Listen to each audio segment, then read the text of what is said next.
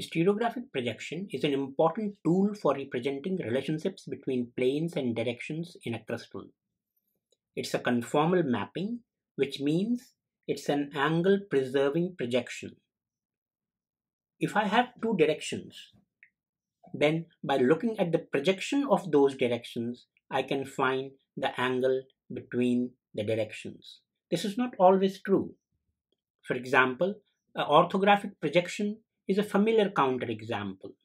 So here I have a horizontal plane in which I wish to project directions lying in this vertical plane. So I have a direction OM and another direction ON in the same vertical plane at an angle phi to OM. If I project OM, I get the projection OP. So OM projects in the line OP. Since ON is in the same vertical plane, ON will also project along the same line. Thus, looking at the projections of OM and ON, I do not have any information regarding the angle phi between them. The angular relationship is lost in the projection and orthographic projection is not a conformal mapping. Stereographic projection preserve such angular relationships. In stereographic projection, we project directions and planes. We do not project points. Directions project as points called poles and planes project as circles called great circles.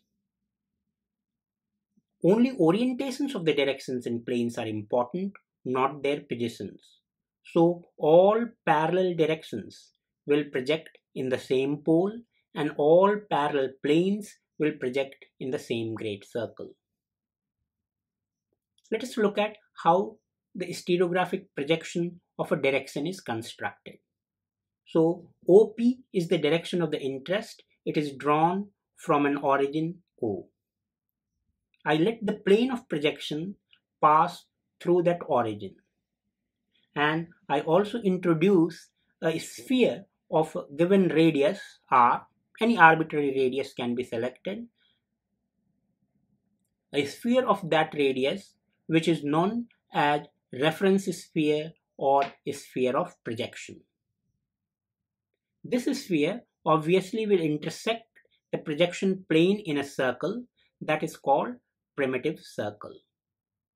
The direction will also intersect the sphere at some point P prime. We call that point as a spherical projection of the direction OP. Now I introduce an axis perpendicular to the projection plane which intersects the sphere at N and S, known as north and south poles. Any of these poles can be used to convert the spherical projection on the sphere to stereographic projection on the plane. Let us choose the south pole S as our projection point. So I join S to P prime. This line intersects the projection plane at PS. PS is the stereographic projection of the direction OP. So the direction OP in three dimensions gives us a spherical projection P prime on the sphere and finally comes to the projection plane as PS, the stereographic projection. What will happen if the direction is not going up in the northern hemisphere, instead it's going down in the southern hemisphere? A direction like OQ. So since it's going down in the southern hemisphere, it will intersect the sphere at Q prime. So its spherical projection also will be in the southern hemisphere. Thus one can see that if I join S to Q prime, I'll get the stereographic projection QS lying outside the primitive. Technically or mathematically this is not an issue. But conventionally one wants to avoid projections outside the primitive. If we wish to do that, there are two methods. Either we can switch from projection pole as S to projection pole as N. and we can project the same direction using the north pole as my projecting pole. If I do that, then the stereographic projection Qn comes inside the primitive circle. Of course, if we have projections from both the poles in the same stereogram, then we should have some scheme to distinguish between which points are projected from which pole. So for example, one can use filled circle for projection from south pole and open circle for projection from north pole. Another method to achieve um, achieve this is to use the direction OQ prime which is opposite of the direction OQ. Now if OQ is in the southern hemisphere OQ prime obviously will be in the northern hemisphere and if I project OQ prime I'll get the projection stereographic projection QS prime which is lying inside the stereogram eh, inside the primitive circle. Now let us look at a horizontal direction. So I have a horizontal direction OR. You can see that it hits the primitive circle, it hits the reference sphere at the primitive circle at RS. This when I join S to RS, I do not get any new point, I get RS itself. So both the spherical projection and the stereographic projection of a horizontal direction coincide and that is a point on the primitive. Thus, every horizontal direction is represented by a point on the primitive and every point of the primitive represents a horizontal direction. Now let us look at the vertical direction. So ON is a vertical direction. So its spherical projection is the north pole itself.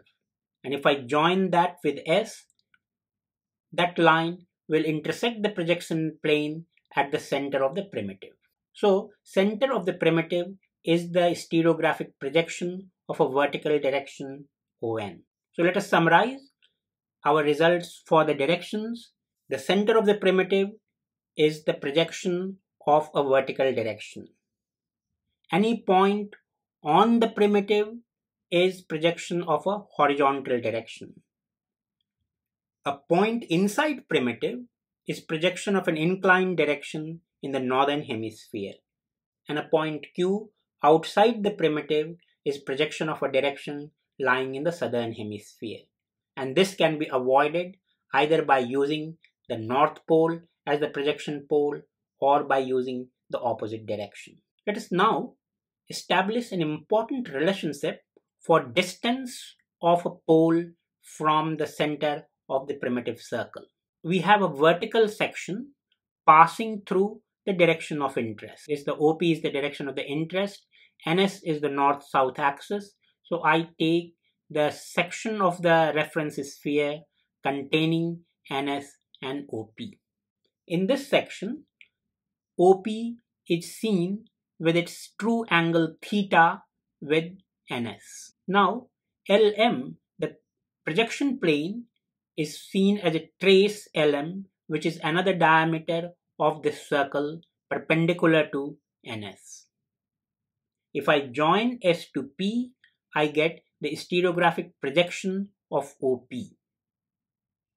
So the question now is, what is this distance OPS? Now, we see that NOP and NSP both are angles subtended by same arc, one at the center and another at the circumference.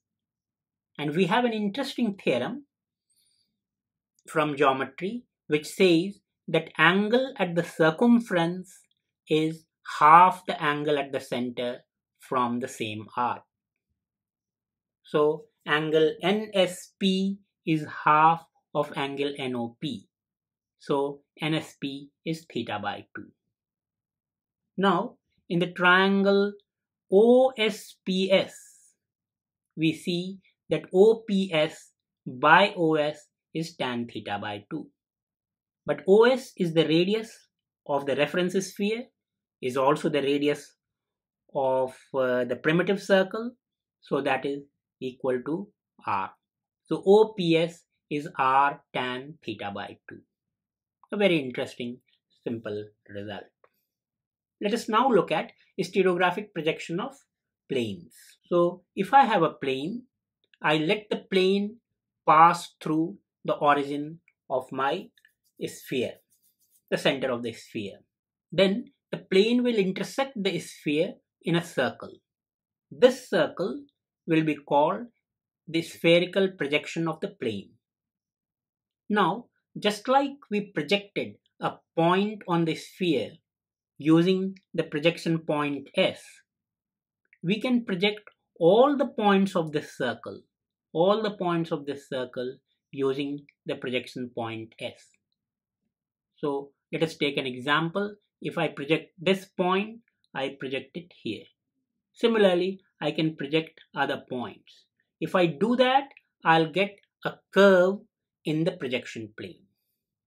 That curve is the stereographic projection of the plane. What is the nature of this curve? What kind of curve is this? Is it a circle, an ellipse, a parabola, or some other arbitrary and more complicated curve? This is where a beautiful theorem of stereographic projection helps us.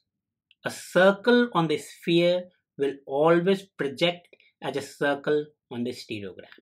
Of course, this needs a proof, but that, that is work of another video. Here, we just take this theorem as true. So, this curve, this curve which is representing the plane in, in the projection plane is also a circle and this is called a great circle.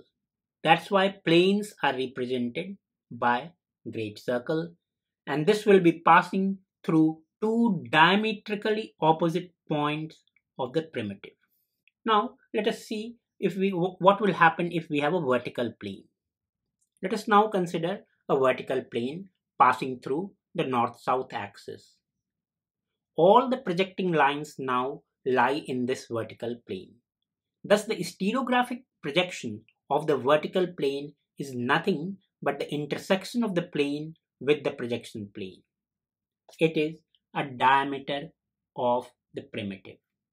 This is not a contradiction to the theorem stated above.